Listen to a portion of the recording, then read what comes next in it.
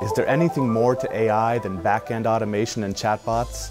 This is a question I get from a lot of executives. How can we really take advantage of AI to create advantages and value for our business? There hasn't been a lot of value created with AI for traditional businesses, so it's sometimes useful to take a look at far afield companies like ByteDance and TikTok.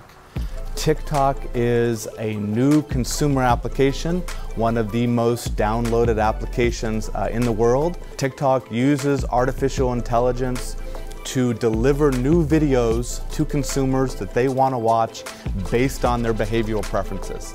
How long do I watch this video will determine how long and what other videos I get to uh, see in the next iteration. You can think of TikTok like a platform on steroids. AI is used to addict you to the platform and get you coming back and watching those incredible videos.